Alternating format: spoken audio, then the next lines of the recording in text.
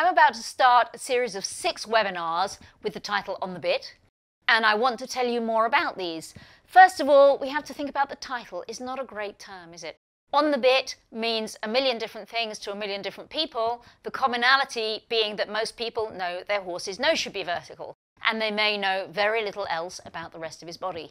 And some people will want to get the horse's nose vertical by hook or by crook. I much prefer the term which I coined many years ago of the seeking reflexes, which at least has the idea of the horse reaching his head and neck to seek contact with the end of the rein, lifting through his back to seek contact with the rider's backside and thigh, filling out his rib cage as he breathes more deeply and seeks contact with her leg. So the seeking reflexes is a much more whole body idea than on the bit.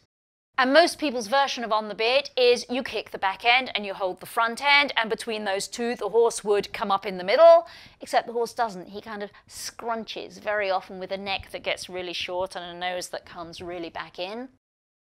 Another version of on the bit would be you kick the back and you do various fiddly things with your hands in the front, and again, his head and neck are supposed to come into a set place.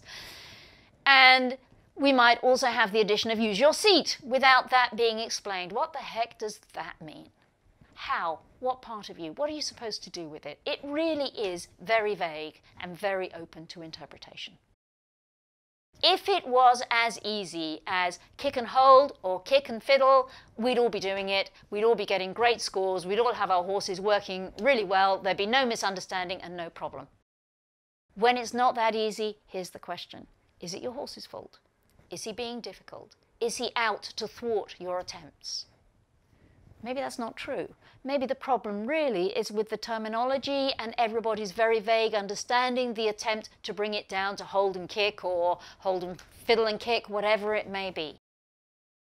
The bottom line is we as riders need to find a way to say it in the language horse. It's a communication problem, both from teacher to student and from rider to horse.